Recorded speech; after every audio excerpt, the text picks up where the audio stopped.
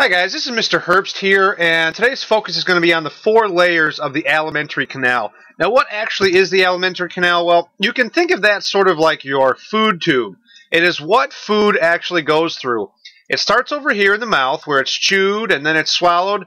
Food will travel down into the through the esophagus and into the stomach, uh, eventually entering the duodenum, which is the first part of the small intestine, and then it will go through all of this stuff the jejunum and the ileum, all of this long coily thing, uh, which is where food is um, absorbed into the blood so that other cells can use it. Um, eventually, it will travel into the cecum. This is the first part of the large intestine where water will begin to be absorbed out of the food that you ate, and eventually that will travel down um, into the anus where it will be excreted into the external environment otherwise known as poo at that point. Now, there is an organ on here that is not part of the alimentary canal, and that here is our pancreas. It is not part of the alimentary canal. Food never has to go through the pancreas. The pancreas simply supplies certain substances that help digestion occur. So I'm going to go ahead and scratch that bad dog out of there. Stupid pancreas. Uh, not part of the alimentary canal. We have four layers of our uh, alimentary canal. It, it starts with the mucosa layer. That's layer one. That is the innermost layer. That is the layer that is lining what's called the lumen. The lumen, the lumen is the innermost. The it, it is where the food actually travels through. So I'll go ahead and write in food. So the lumen is the hole that the food travels through. The first layer that is touching the food at all times is called the mucosa layer. Next we have our submucosal layer. That's the next innermost layer. Then we have the muscle layer. Uh, then we have the serosa layer. Now I know that's a lot to remember, but each one of these layers has a, a, a specific function. The mucosa layer, um, well, not surprisingly, it gives off mucus, um, as the root word would suggest. It also is the layer that has certain cells that can give off certain enzymes and substances, such as in your stomach, you have some uh, uh, the mucosal layer will, will give off hydrochloric acid. The submucosal layer has lots and lots of blood vessels. These blood vessels aid in absorption. They are connected to the rest of our body, so um, things will be will be absorbed in the mucosal layer, but eventually will pass into the submucosal layer where the blood will pick them up and take them to wherever they need to go. Then we have our muscle layer where we actually have two types of muscles, and in our stomach we actually have three. But in most of the alimentary canal, we have two types of muscles.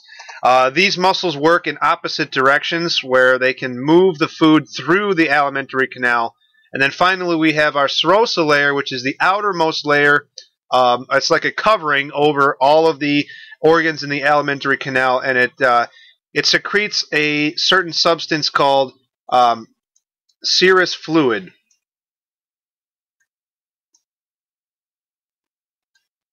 And serous fluid acts like a, a lubricant which uh, keeps organs from sticking to each other. Here's a different way to look at it. Uh, here we have a cross section of our um, our four layers that line the alimentary canal. This here uh, is the lumen. Food will pass through that little hole right there. So you can see that the first layer that, that food touches is called the mucosa layer. That layer is responsible for giving off certain substances. Um, it also lines the entire alimentary canal with a layer of mucus, which helps to protect the um, it, it helps to protect protect the alimentary canal from basically digesting itself. The submucosal layer, you can see all the blood vessels, all, all the glands that are in there. Um, this is where absorption uh, occurs, is where uh, blood will pick up things that are absorbed into the blood and move them around wherever they need to go. Then we have our muscular muscular layer where we have the two types of muscles that move and push food around through the alimentary canal. And then finally we have our serosa layer here, which is the outermost layer that acts as a covering or protection over the rest of the other layers. So let's go ahead and review. Uh, the mucosal layer is the innermost layer. It's responsible for um, absorbing as well as uh, secreting mucus and other enzymes that um, help in digestion, such as enzymes or bicarbonate or whatever organ we're talking about. Uh, it contains a lot of folds. There's a lot of folds of the muco mucosa layer. You can see that in this cross section here, where we have all these folds of these villi right here, and in this picture here, where we have all the folds that line the lumen right here. Our next layer is the submucosal layer. This contains glands that secrete substances and enzymes. Uh, in this layer, there's a lot of blood vessels, a lot of nerves, and uh, a lot of lymph vessels that control absorption.